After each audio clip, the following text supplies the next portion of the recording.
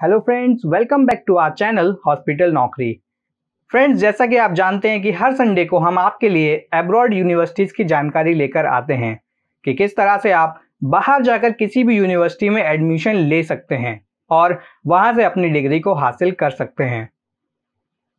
लेकिन हमारे बहुत सारे फ्रेंड्स को ये आइडिया नहीं होता है कि उन्हें शुरुआत कहाँ से करनी चाहिए। इसलिए फ्रेंड्स हम आपके लिए लेकर आते हैं ऐसी ही वीडियोस जिनके माध्यम से आप उन यूनिवर्सिटीज़ के बारे में जान सकते हैं और वहाँ पर एडमिशन के लिए अप्लाई कर सकते हैं।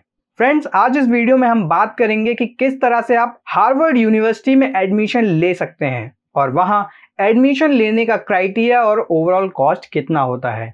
जानने के लिए वीडियो को एंड तक ज़रूर देखिए। और हाँ अगर आपने अभी तक चैनल को सब्सक्राइब नहीं किया है तो चैनल को सब्सक्राइब ज़रूर कर लीजिए। तो आइए दोस्तों शुरू करते हैं हमारे आज के इस वीडियो को। यूनाइटेड स्टेट्स की सबसे पुरानी और प्रेस्टिजियस यूनिवर्सिटीज में से एक हार्वर्ड यूनिवर्सिटी ईयर 1836 में शुरू हुई थी, जो कि कैम्ब्रिज के मैसाचुसेट्स हार्वर्ड यूनिवर्सिटी वर्ल्ड की टॉप तीन यूनिवर्सिटीज में से एक है और आई लीग्स में शामिल है। दोस्तों आईवीवाई लीग्स में अमेरिका की टॉप एट यूनिवर्सिटीज आती हैं, जो अपनी एकेडमिक एक्सलेंस एडमिशन प्रोसेस और हाईली कंपेटिटिव एथलीट्स के लिए जानी जाती हैं। दोस्तों हार्वर्ड एक प्राइवेट रिसर्च ऑर्गेनाइजेशन है, जिसके प्रेसिडेंट लॉरेंस बेको हैं। हार्वर्ड अपनी रिसर्च एकेडमिक अपॉर्चुनिटीज़ और स्पोर्ट्स जैसी एक्टिविटीज़ के लिए फ़ेमस है। पाँच एकड़ में बनी ये यूनिवर्सिटी का मोटो है ट्रूथ दोस्तों, इस यूनिवर्सिटी से निकले 210 से ज़्यादा एल्यूमनाय पूरी दुनिया में फैले हुए हैं, जिनमें शामिल हैं बराक ओबामा और मार्क जकरबर्ग इस यूनिवर्सिटी से अब तक 48 नोबेल प्राइज विनर्स निकल चुके हैं, जबकि 48 ही पुलिट्जर प्राइज विनर्स हार्वर्ड में तीन कैंपस हैं कैम्ब्रिज बॉस्टन और लॉन्गवुड जिसमें 11 डिपार्टमेंट्स हैं, साथ ही हार्वर्ड लाइब्रेरी जो कि दुनिया की लार्जेस्ट लाइब्रेरीज में से एक है। दोस्तों, आप जानते हैं कि हार्वर्ड में एडमिशन लेने के लिए आपको किन किन बातों को जानना ज़रूरी है। हार्वर्ड यूनिवर्सिटी में टोटल एडमिशन एनरोलमेंट का 13 परसेंट फॉरन स्टूडेंट्स कवर करते हैं। बात करें कोर्सेज की तो हार्वर्ड में करीब 50 प्लस अंडर ग्रेजुएट प्रोग्राम में 3,700 से ज़्यादा कोर्सेज ऑफ़र किए जाते हैं।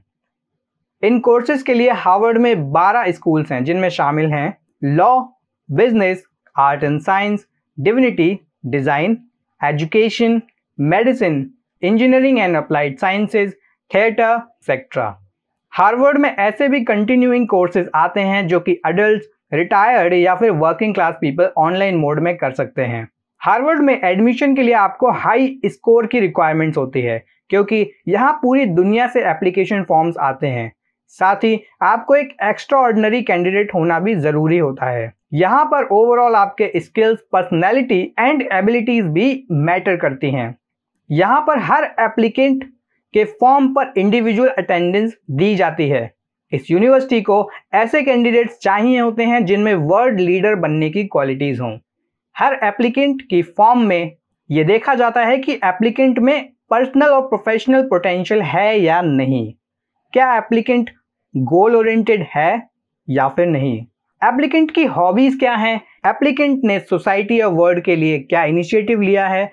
स्पोर्ट्स या एक्स्ट्रा करिकुलम एक्टिविटीज़ में एप्लीकेंट पहले कभी एक्टिव रहा है या नहीं। इस सभी पॉइंट्स के बेसिस पर आपका एप्लीकेशन फॉर्म जज किया जाता है। इस यूनिवर्सिटी का एक्सेप्टेंस रेट करीब पाँच परसेंट रहता है और यहाँ पर सत्तर से ज़्यादा कोर्सेज में सिर्फ़ बीस स्टूडेंट्स को ही एडमिशन दिया जाता है। तो फ्रेंड्स यहाँ पर कंपटीशन लेवल बहुत ही ज़्यादा हार्ड रहता है। अब बात करते हैं दोस्तों हार्वर्ड में एडमिशन के लिए अप्लाई करने के तरीकों के बारे में।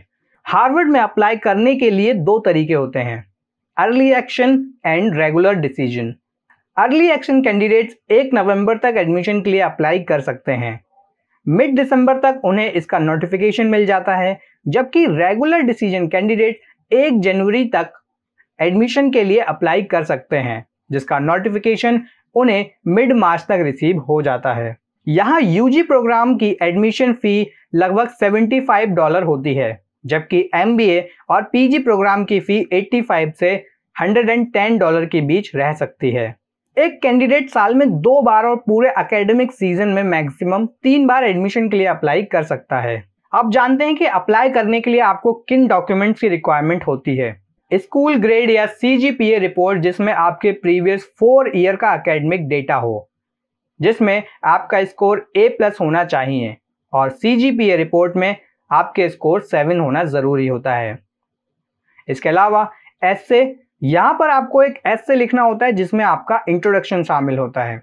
लेटर ऑफ़ रिकमेंडेशन आपको अपने टीचर या काउंसलर का लिखा हुआ एक लेटर ऑफ़ रिकमेंडेशन भी यहाँ पर सबमिट करना होता है।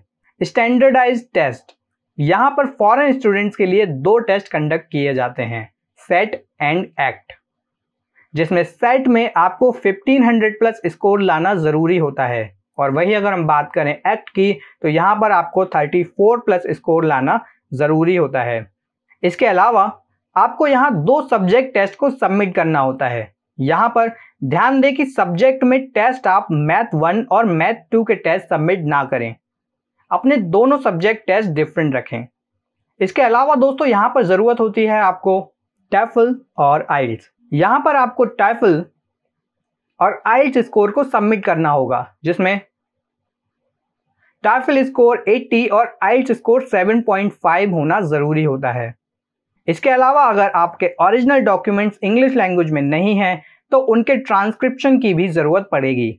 अगर आपका एप्लीकेशन फॉर्म शॉर्ट लिस्टेड हो जाता है तो आपका एक इंटरव्यू होगा, जो कि यूनिवर्सिटी अलमनाय की ओर से कंडक्ट किया जाता है, जिसके बाद इंटरव्यू का रिज़ल्ट यूनिवर्सिटी के पोर्टल पर देखा जा सकता है। यहाँ पर बेस्ट थिंग ये है कि हार्वर्ड अपनी सभी प्रोग्राम्स में स्कॉलरशिप ऑफ़र करता है। इस यूनिवर्सिटी के नेट प्राइस कैलकुलेटर का यूज़ करके आप स्कॉलरशिप के बारे में पता लगा सकते हैं कि आपको कितनी स्कॉलरशिप मिल सकती है। हार्वर्ड में 70 परसेंट स्टूडेंट्स को स्कॉलरशिप मिल जाती है, जबकि 60 परसेंट स्टूडेंट्स को नीट बेस्ड स्कॉलरशिप मिल जाती है। नीट बेस्ड स्कॉलरशिप में करीब 100 परसेंट स्कॉलरशिप तक मिल जाती है। अगर हम हार्वर्ड के एक यूजी प्रोग्राम की एक अकेडमिक ईयर की फ़ी की बात करें तो ये करीब 73,000 डॉलर पर ईयर होती है जिसमें अक्रॉस 50,000 डॉलर ट्यूशन फ़ी होती है और बाकी books and personal expenses board and room fees शामिल होती है। इसके अलावा हार्वर्ड में इंटरनेशनल स्टूडेंट्स ऑन कैंपस काम भी कर सकते हैं जैसे कि लाइब्रेरी और कंप्यूटर सेंटर इसके अलावा ऑफ़ कैंपस भी स्टूडेंट्स यूनिवर्सिटी से एफिलिएटेड हॉस्पिटल्स और कंपनीज़ में वहाँ के एम्प्लॉयज़ के साथ काम कर सकते हैं। तो दोस्तों, इस तरह से आप हार्वर्ड यूनिवर्सिटी में एडमिशन के लिए अप्लाई कर सकते हैं। साथ ही आपको क्या क्या बॉक्सेस को टिक करना होता है, ये भी हमने आपके साथ इस वीडियो में शेयर किया है। वीडियो आपको कैसा लगा, हमें कमेंट सेक्शन में कमेंट करके ज़रूर बताएँ। वीडियो पसंद आया हो तो वीडियो को लाइक और शेयर ज़रूर करें। धन्यवाद।